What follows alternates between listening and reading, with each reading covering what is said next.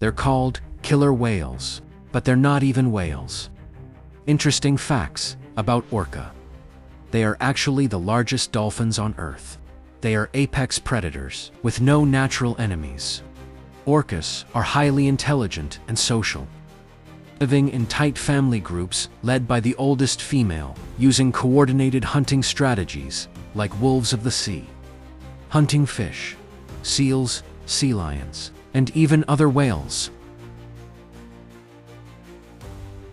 They can swim at speeds up to 54 kilometers per hour and travel hundreds of kilometers in a single day. Some female orcas can live over 80 years. Despite their fearsome name, wild orcas have never hunted humans. The real danger isn't the orca, it's how humans treat them.